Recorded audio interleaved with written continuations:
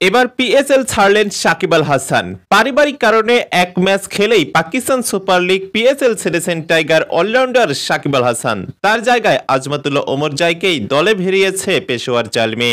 রোববার উনিশ ফেব্রুয়ারি এক বিবৃতিতে বিষয়টি নিশ্চিত করেছে পাকিস্তান ক্রিকেট বোর্ড পিসিবি। তবে পেশোয়ার প্লে অফে উঠলে তিনি আবারও ফিরবেন বলেও জানানো হয়। বিবৃতিতে জানানো হয়, সাকিব আল হাসান পরিবারের গুরুত্বপূর্ণ কাজে যুক্তরাষ্ট্রে ফিরে গেছেন। তার পরিবর্তে আফগানিস্তানের আজমাতুল্লাহ ওমর জাইকে দলে অন্তর্ভুক্ত করে পেশোয়ার জালমি।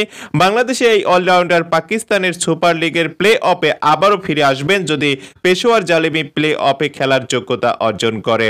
এদিকে পিএসএল থেকে বিদায় নেওয়া প্রসঙ্গে সাকিব আল হাসান বলেছেন, ব্যক্তিগত কারণে আমি সাময়িক সময়ের জন্য পিএসএল ছেড়ে যাচ্ছি। বিপিএল তার দল ফরচুন বরিশাল, বাদ পড়ার পর কালক্ষেপণ না করে পিএসএল খেলতে দেশ ছাড়েন সাকিব। সেখানে গিয়ে বাবার আজবের নেতৃত্বাধীন দলটির হয়ে করাচি কিংসের বিপক্ষে একটি ম্যাচও খেলেন তিনি। কিন্তু সে ম্যাচে আশানুরূপ পারফরমেন্স করতে না পারায় মুলতান সুলতানসের বিপক্ষে পরবর্তী ম্যাচের একাদশ থেকে ছিটকে যান সাকিব।